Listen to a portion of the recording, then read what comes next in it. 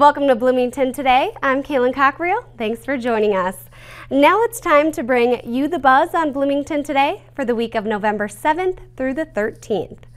City engineering staff presented an exciting new trail project to City Council members recently.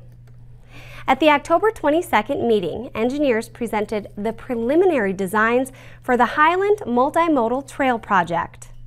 This project would link existing trail systems around Bush Lake and the Hyland Lake Park Reserve trails with the Minnesota Valley State Trail at Bloomington Ferry Road. The new trail would run along Bush Lake Road to 106th Street and then connecting with Bloomington Ferry Road.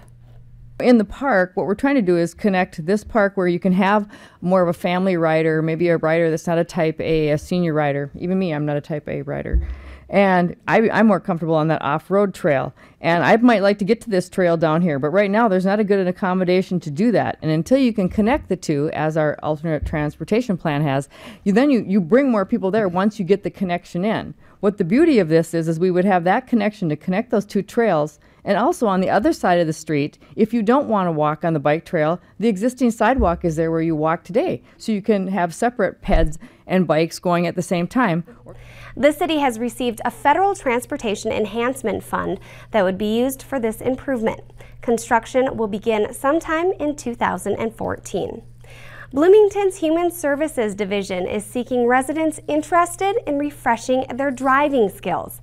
Creekside Community Center, located at 9801 Penn Avenue South, is the site of AARP's Driver Safety Program, offering classes throughout the months of November and December.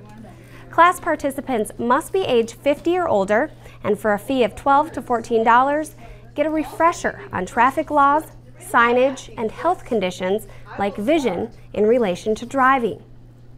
Both four hour classes and eight hour classes are available, and some even qualify for lower insurance rates by completing this course.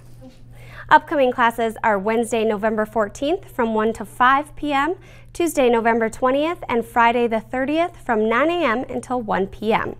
Reservations are required, so be sure to call 952 563 4948 to hold your spot in class.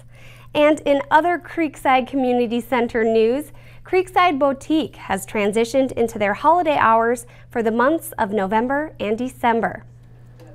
Room 104 at Creekside Community Center looks like a mini department store when you walk into it. There are a variety of items, including jewelry, towels, winterwear, and floral arrangements. Creekside Boutique is run by a group of senior volunteers who are also the artists crafters, and creators of all the items for sale. Hours are Monday through Fridays from 10 a.m. until 2.45 p.m., Tuesdays from 6 to 8 p.m., and new holiday hours include Saturdays from 9.30 a.m. until 1 p.m. If you're looking for something unique to give someone special this holiday season, be sure to check out the Creekside Boutique. The Works Museum in Bloomington is widely known as a hands-on, minds-on learning center for young people. Complete with interactive exhibits that encourage engineering exploration. The Works serves 70,000 children, educators, and families each year, and now adults are invited to become a kid again.